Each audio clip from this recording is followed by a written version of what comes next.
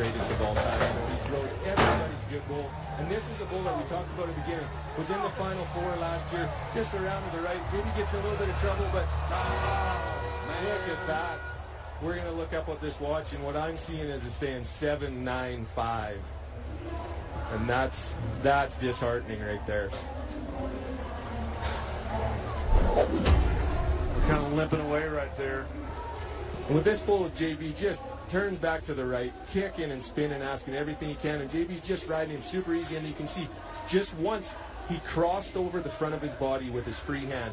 And when you cross over, reach in front of your face like that, it has a tendency to want to turn your hips out. And when it turns his hips out, then his whole body gets raised up. And the next jump on one bucking that hard, you know, even the absolute best in the world can come hit the ground.